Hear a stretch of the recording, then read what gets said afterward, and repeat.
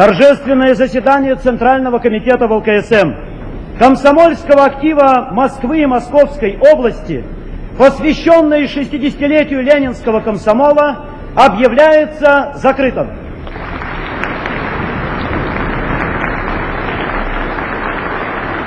Вставай, глядя